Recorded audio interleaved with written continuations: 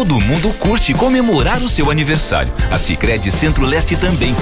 Promoção Aniversário Premiado Sicredi Centro-Leste 35 anos. Quanto mais usar os produtos da sua cooperativa, mais chances tem de ganhar. São diversos prêmios instantâneos, mais o sorteio de um carro e duas motos zero quilômetro. Promoção válida para associados da Sicredi Centro-Leste. Consulte regulamento na sua unidade de atendimento e participe. Certificado de autorização 06/0025/2016. Sicredi, gente que coopera cresce.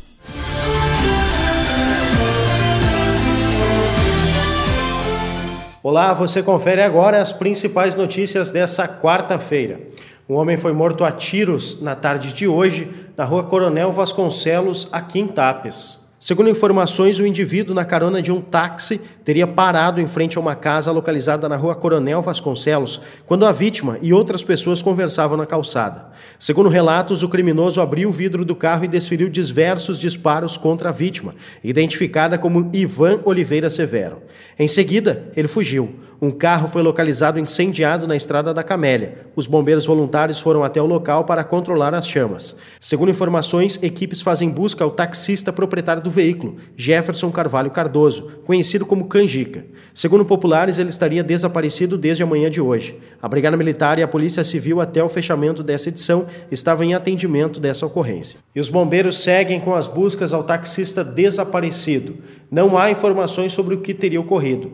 O carro em que Jefferson trabalha foi encontrado incendiado na estrada da Camélia, no interior de Tapes. Também integram as buscas amigos e familiares do jovem. Até o fechamento dessa edição, ainda não haviam informações concretas sobre o caso. E a Prefeitura Municipal suspendeu as apresentações que ocorreriam na noite de hoje na Praça Rui Barbosa, em virtude desse crime bárbaro. O motivo seria o sentimento de consternação e preocupação que os tapenses estão vivendo.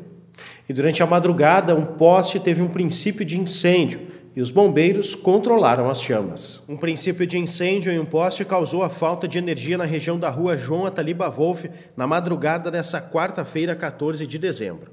Os bombeiros voluntários foram acionados por volta da uma e meia da manhã, quando populares teriam visto uma fumaça no topo de um poste junto à fiação.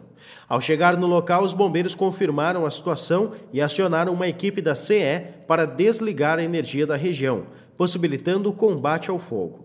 Um curto-circuito pode ser a causa do princípio de incêndio. O poste teve de ser substituído por uma equipe terceirizada da companhia.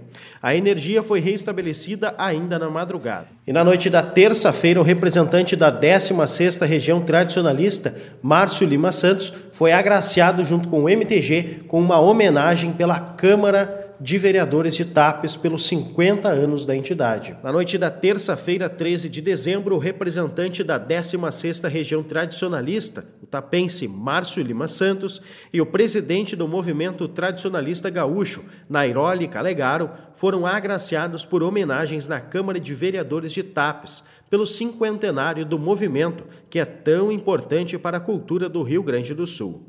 A sessão solene contou com a presença de um bom público e também com os vereadores da casa. Confira agora a previsão do tempo para essa quinta-feira. Uma massa de ar polar que é muito forte para esta época do ano leva ar frio e úmido para a costa de Santa Catarina e também do estado do Paraná.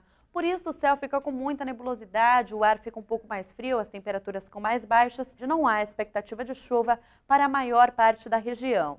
A mínima prevista é de 13 graus em Curitiba e 15 graus em Florianópolis, máxima de 26 graus em Porto Alegre. Essas e outras notícias você confere no site da Lagoa TV. Nós voltamos amanhã. Tenham todos uma boa noite.